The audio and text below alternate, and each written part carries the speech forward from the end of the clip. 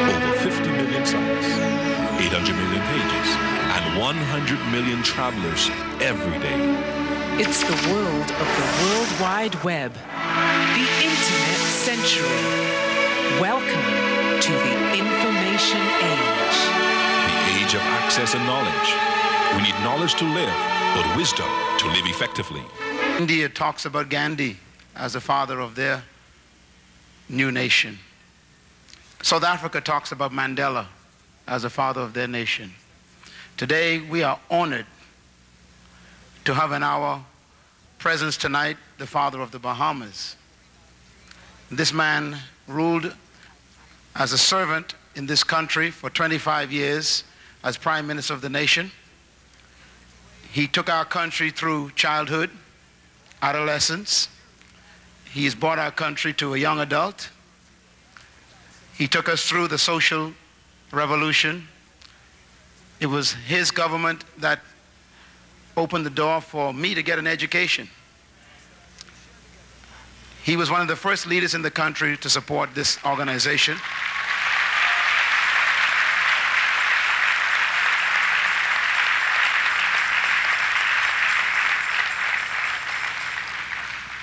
He has attended more than 11 of these leadership conferences over the past years. He was prime minister. He has supported me personally. I've had the privilege of praying with him and his family in their home. He is a statesman. He was knighted by the Queen of England, both he and his wife. And they are forever etched in the history of our country as a father of the Commonwealth of the Bahamas. He deserves every accolade that this nation can think of because the price of the first builder is always the heaviest price.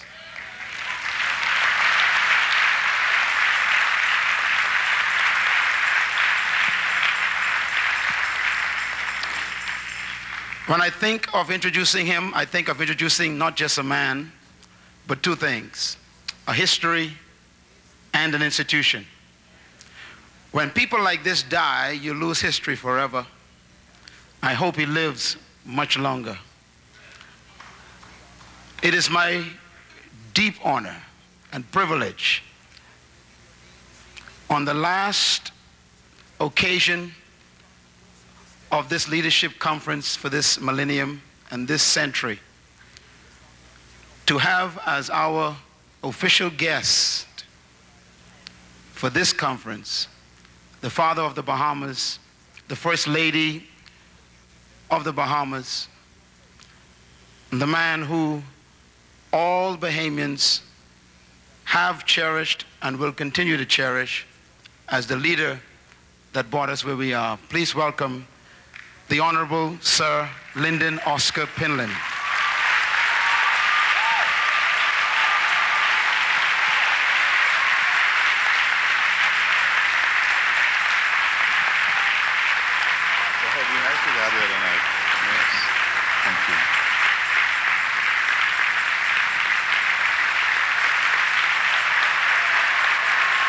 Thank you very much.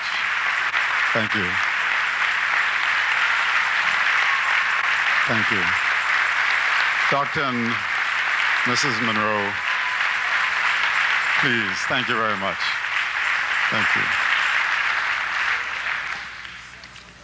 you. Your Majesty, I am a child of the African diaspora.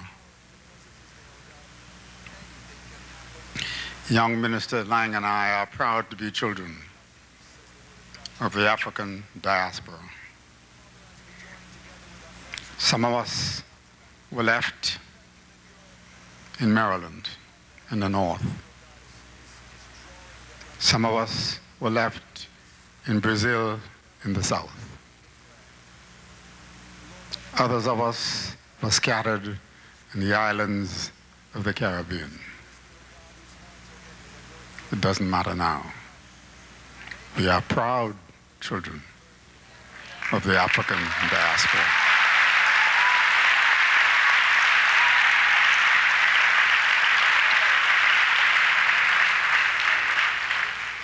I thank you for coming these thousands of miles to be with us this week. For years, we had heard about the Lomé Convention and how that convention sought to bring African, Caribbean, and Pacific countries together with their former colonial metropolitan powers to improve relations of trade between us. Few was realized that Lomé is the capital of Togo. Now, Togo is in the Bahamas. Lomé is in the Bahamas.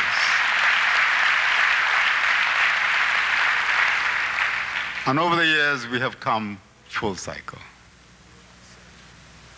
Honorable Minister, I thank you so much too, sir, for being here this evening and for your very inspiring words. I thank all the ministers of religion who have come from far and near to be present at this August leadership meeting this week members of parliament, senators, members of the House, and uh, leading political figures from around the globe. I thank you all for coming. I don't speak on behalf of, of the government. I don't speak on behalf of the opposition. I speak on behalf of ordinary little fellows who are of the African diaspora.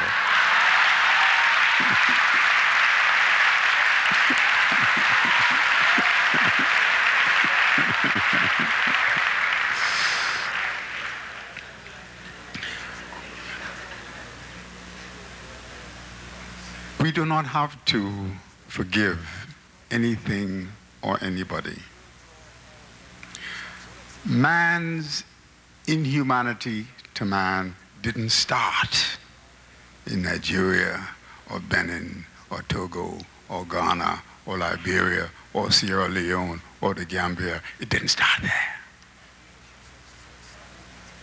And it wasn't a one-man band. The Africans didn't start it by themselves. The Portuguese didn't start it by themselves. So we have to put all those things behind us just like we put Satan. Get thee behind me, Satan, and we put those things behind us like we put Satan.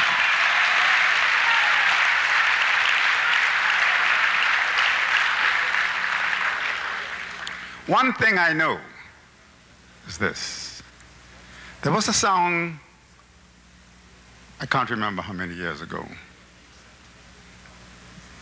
Was very popular. It said, What the world needs now is love. Love, love, love. That was true then. It is true now with less than 60 days to go before the end of the century. And it will be true for the next hundred years, as the minister says, into the new millennium. What we missed was love. It was the absence of love that forced the African diaspora on us. And whether the conflict is Catholic against Protestant in Northern Ireland or Tutsi against Hutu in Rwanda,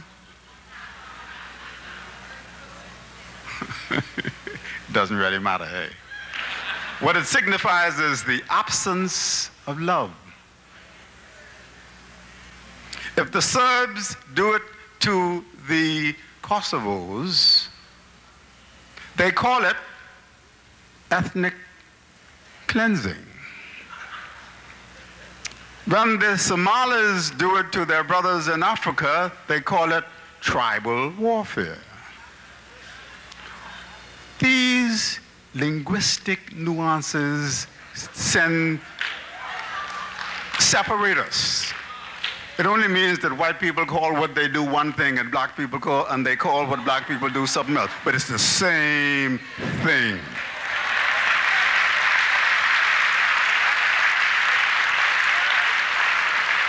They're chopping up one another, shooting up one another, killing up one another. And it isn't confined to Kosovo. A young boy named Lyndon Brown got shot in his head over the hill last week. And if you think that wasn't caused by the absence of love, you tell me what it is.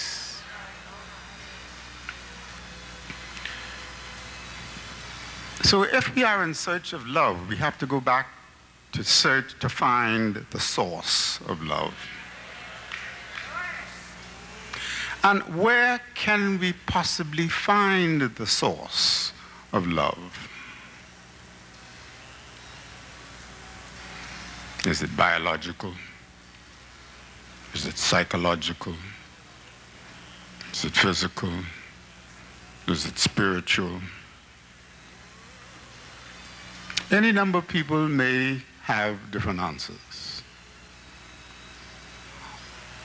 I am inclined to believe, Your Majesty, Honorable Minister, that if we search hard enough and can find, and I believe you will find some answers this week, for the source of love. And if you can perhaps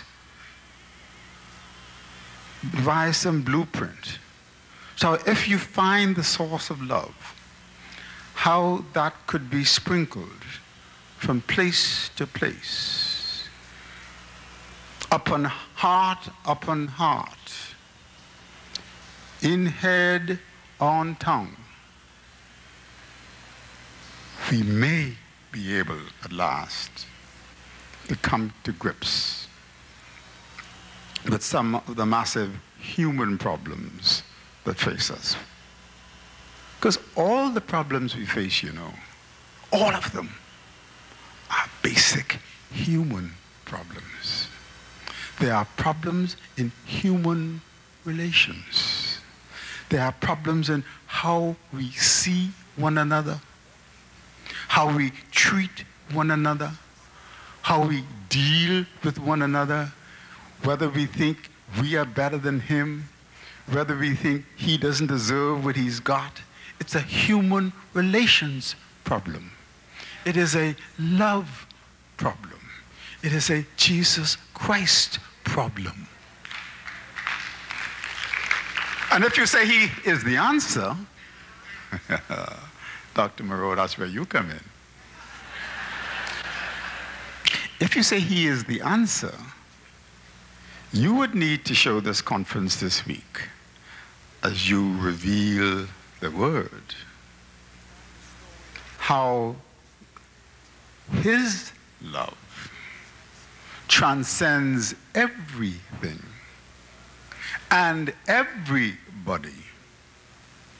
And you will have to show us all how we can partake of that special kind of love that will transform our human relationships.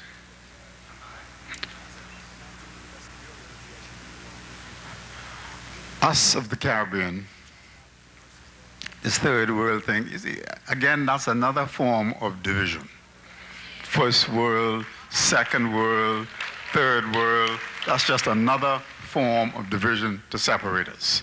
Some better than others. That's all that means. Don't worry about that. The first world needs more love than the second world.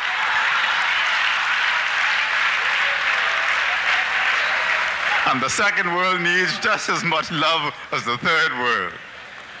As a matter of fact, everybody knows that we in the third world got more love than anybody else.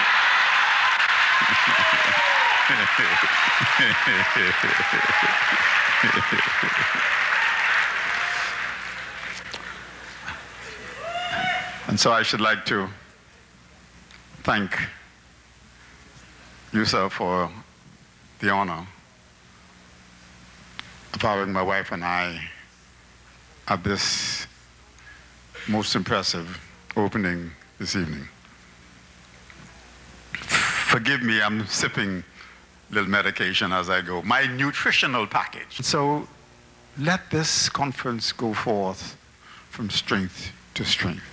This global leadership summit in search of finding that special leadership quality that has united hundreds of millions of people around the globe and has a single powerful message founded on true love, based fundamentally on man's humanity to man. And when you, I, know you found it already. I, you finished telling me about it, you see, that's how I know you found it. So I know you, I know exactly what you're going to reveal here this week. And after you will have done so, now you're going to have to have another one for us little ordinary fellas to see how we could bring that into the into the body politic. You see? Because that's where we fall down.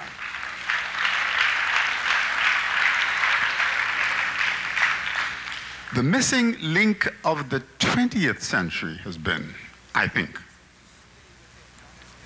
that we've left this leadership, love, humanity to man business too much to the church.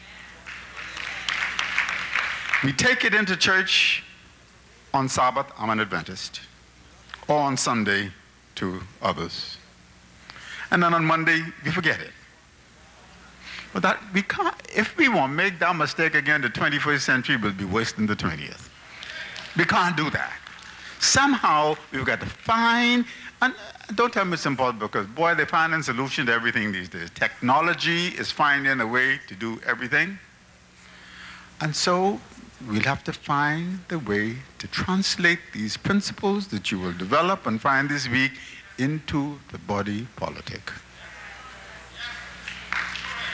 And when all of us can recognize each other's as what? Our brothers keepers.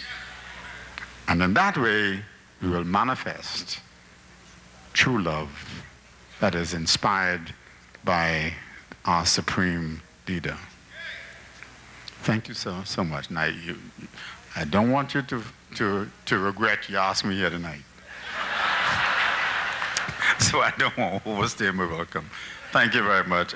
I am honored to be here, and God bless you all. Thank you.